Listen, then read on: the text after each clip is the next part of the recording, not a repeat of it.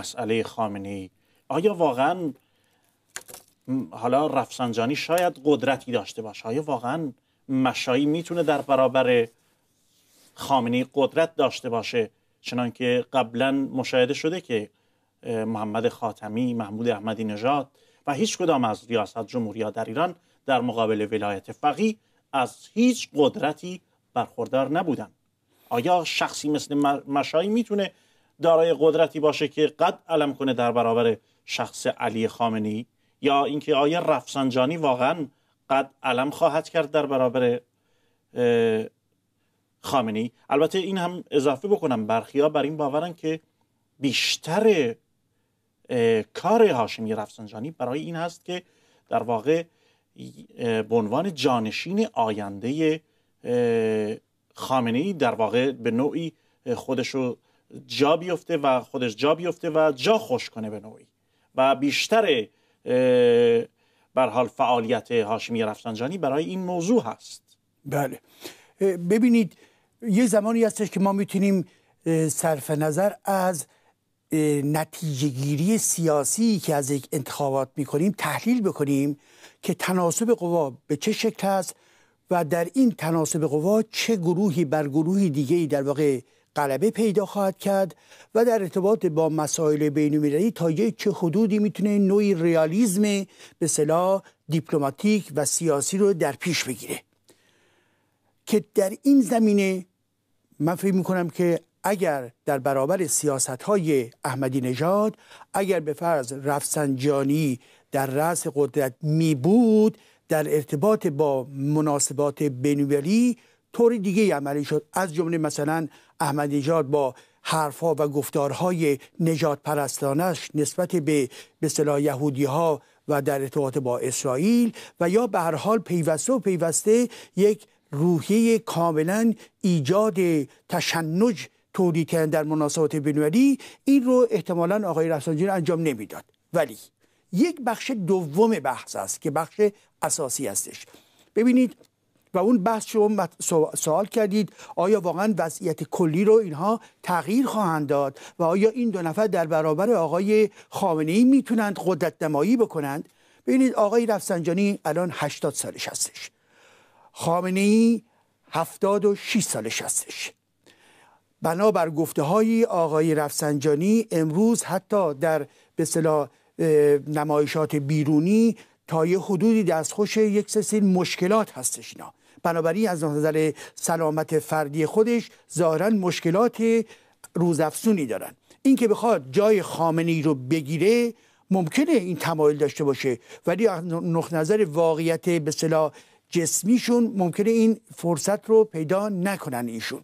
ولی به حال فردی هستش که تمایلات سیاسی و تمایلات رهبری پرستی برای خودش داره و مقامی برای خودش داره و این رو به ممکنه در نهاد فکری خودش هم در نظر داشته باشه. ولی ما با یاد اون باشه. دو نکته.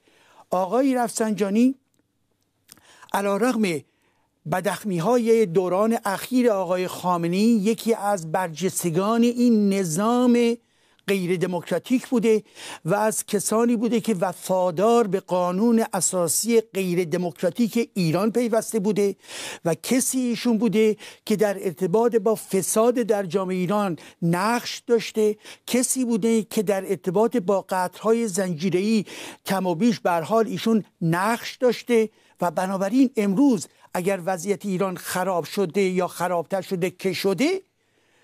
قدرت ایشون در ارتباط با بازسازی اقتصادیان خط اقتصادیشون چه کدوم امروز چه چه پیشنهادی رو مطرح می‌کنن؟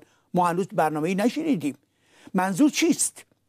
آقای مشایی و جناب به به جزء گروه احمد به محمود احمدی نژاد هستش. ایشون یکی یکی از باندهای شدیدن فاسد در ایران هستند. رابطه اینها با جناه پاسداران. آقای مشایی یکی از کسانی هستش که از نظر من بخش از به صلاح میراث باستانی میراث گذشته ایرانیان که در واقع در موزه های ایران بودن رو اینها بردن و در بازار جهانی در واقع به فروش رسوندن برای منافع شخصی خودشون.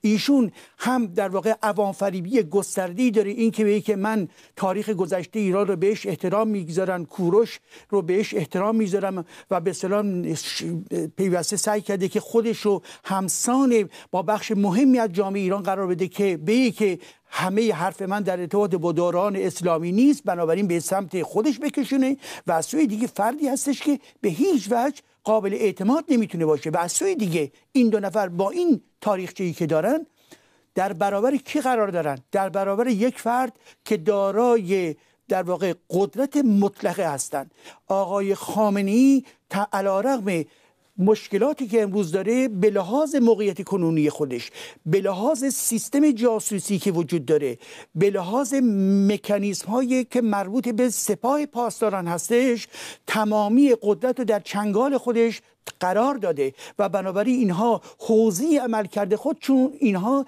بسیار محدود می‌تونه باشه. خط عمومی در کشور از قبیل مثلا به فرض پرونده از به هستیه در ایران توسط آقای خامنه ای این جهت داده میشه. مناسبات با سایر کشورها توسط ایشون در واقع جهت داده میشه و امور مربوط به اقتصاد و جامعه ایران و استبداد و سرکوبی هم که در جامعه ایران هستش هم خواست اینا هستش هم در واقع در در چارچوب خط آقای خامنه ای هستند بنابراین اینها کاری که می‌تونن بکنن ایجاد تغییراتی در تناسب قوا در درون هیئت حاکمه ایران هستند ولیکن اینها به هیچ وجه در راستای امر اساسی جامعه ایران که مسئله حقوق بشر باشه دموکراسی باشه رفاهی بیشتر باشه و در واقع نگهداری از مسائل مربوط محیط زیست باشه احترام به, به تمامی بخش های جمعیت ایران باشه